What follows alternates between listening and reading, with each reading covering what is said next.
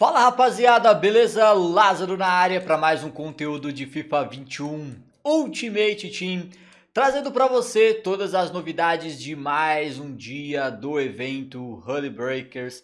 E no dia de hoje temos como destaques aí alguns DMEs. Vamos falar sobre esses DMEs, vamos analisar o que vale a pena fazer, o que não vale a pena fazer e vamos também ver como fazer aqueles que valem a pena de forma mais barata. Para você que está conhecendo o nosso canal agora e quer ficar por dentro de tudo que acontece dentro do Ultimate Team, Quer receber as melhores dicas? Então, mano, aproveita para se inscrever, ative todas as notificações e se você gostar desse vídeo, deixa aquele like para fortalecer, porque ajuda demais. Bora pro conteúdo? Bom, já estou aqui na tela do Futibin. Temos como destaque aí o Denayer, uma cartinha. Vamos analisar ela para ver Uh, aqui, conclusão, conseguimos chegar se vale ou não a pena fazê-lo e se valer, como fazê-lo uh, de forma mais barata. Porém, antes de falar do Denaye, vamos falar sobre esses DMEs aqui, ó, que são relativamente mais baratos.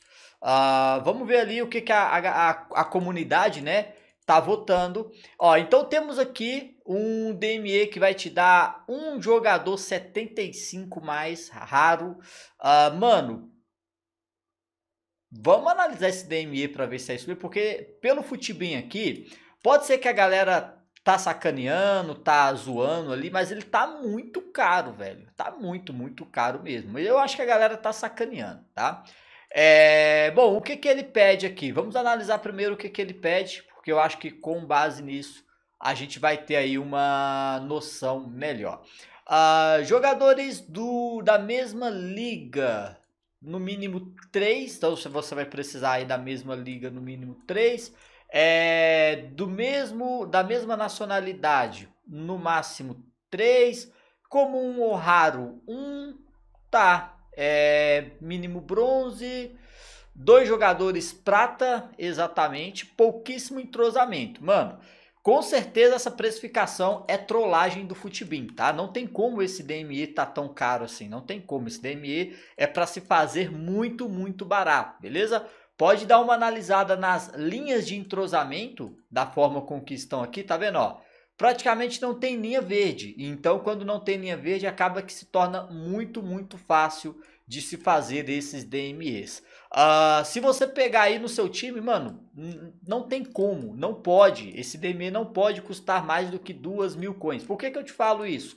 Porque vai te dar um pacote de um jogador 75 mais. Cara, não faz sentido, tá? É, vamos continuar aqui porque pode ser que no decorrer do vídeo aí a gente consiga mais, é, mais outros DMEs, né? Pra gente poder ter um parâmetro. É, temos aqui um DME que vai te dar um pacote de ouro raro. Então, vamos ver aqui o que, que pede nesse DME. Vamos aqui novamente. Uh, vamos lá. Olha, esse aqui já tem bastante DMEs feitos. Vamos abrir ali o que está mais barato. É, ligas, no mínimo 8 ligas. Então você vai ter que focar na nacionalidade, tá? Tipo, encontrar jogadores da mesma nacionalidade, tipo, brasileiro que está espalhado pelo mundo aí. São oito ligas no mínimo, beleza? É, da mesma liga, da mesma liga, você vai poder colocar no máximo dois. Do mesmo clube, no máximo dois. Jogadores raros, raros, aí pode ser o CL pode ser ouro no mínimo seis. Então aí a, os jogadores raros tendem a sofrer uma oscilação no mercado, tá? Pelo menos quando esse DME for lançado. É... Overall mínimo 65 e o entrosamento alto, galera. Entrosamento de 85, tá? Então assim, ó, ó. O que foi, foi posto aqui de solução foi isso, tá? Bem, bem baratinho mesmo, pelo que tá mostrando aqui no Futibin. Aliás, bem mais barato do que eu imaginei, tá? É... As linhas, na sua maioria esmagadora, amarela. E o foco aqui praticamente jogadores franceses e dois jogadores ingleses somente, entendeu? Lembra que eu falei? Focar na nacionalidade, então procura aí jogadores que tenham no seu clube da mesma nacionalidade, beleza? E copia do Futibin apenas os links, apenas as linhas de entrosamento, tá? Não copia os jogadores. Olha o que você tem dentro do seu elenco. E isso faz com que o DME se torne aí muitíssimo mais barato, tá? É, vamos ver esse outro aqui, ó. Vamos ver se, se já atualizou alguma coisa. Se apareceu. Só tinha dois aquela hora, né? É, só continua com os dois mesmo. É um DME muito fraco, por isso que a galera não quer fazer. Vamos ver aqui, aqui então sobre o nosso querido Denae. Primeiramente, a, o pessoal da comunidade tá votando aqui, tá? Tá dando muito dislike em cima desse em cima desse DME. Ponto. Beleza. Mas, mas, vamos lembrar que nós não vamos fazer esse DME uh, apenas para esse cara ficar no nosso no nosso elenco titular, família. A gente tem que pensar da seguinte forma: esse cara ele pode me ajudar a fazer é, completar um, um DME, perdão, completar um objetivo, tá? Então é, por exemplo, tem lá um desafio onde você tem que usar somente jogadores francês é, da Liga da Ligue 1. Então, esse daí seria um para te ajudar, tá bom? Uh, vamos falar primeiramente sobre a precificação. São exatamente dois DMEs 84. Exatamente dois DMEs 84. Uh, pedindo ali, ó, aqui um jogador da Ligue 1 Aqui, vamos ver aqui, provavelmente aqui um jogador da Bélgica. Aí overall 84, entrosamento 80.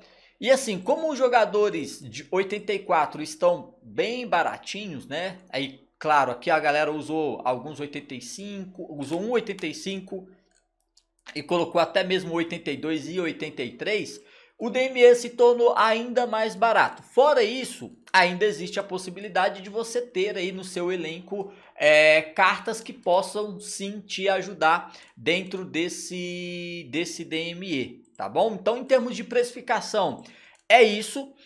Lázaro, vale a pena fazer esse DME? Vamos analisar a carta para que possamos chegar aí à conclusão, tá? Número 1, um, estamos falando de um zagueiro é, de pace, ok, tá? De pace, pace ok. Não chega nem ser bom o pace dele. É, chute, passe, agilidade, frieza, tudo fraco, beleza? É, o que ele tem de ponto forte? Interceptação, 87, uma boa interceptação. É, carrinho, vamos ver o que mais aqui. Defesa, cabeçada. Tá, defesa dele ok. É, físico, muita força, bastante agressividade, bastante estamina e um pulo forte. Então, assim, é, é uma carta, galera, nada, nada de extraordinária. É uma carta razoável, tá?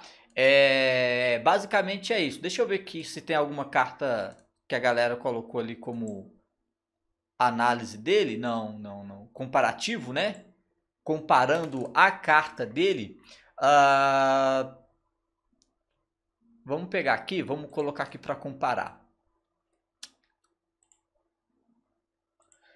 Para a gente fazer uma comparação justa, vamos abrir aqui no Futibin, tá? É, vamos pegar aqui por posição, por posição zagueiro.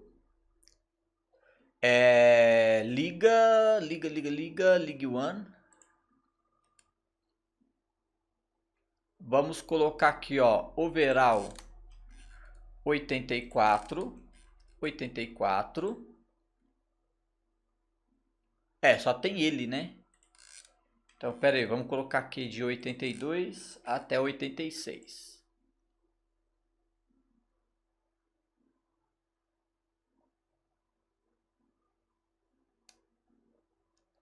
Bom, temos o Marquinhos, e temos lá o Koscielny. O Koscielny seria mais caro, né? Um overall um pouco mais alto.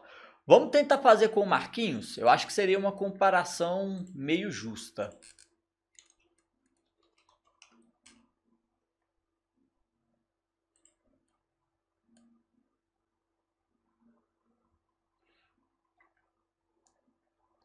Bom, ele tem mais pace que o Marquinhos, tá? Bem mais, e isso é muito importante para zagueiro.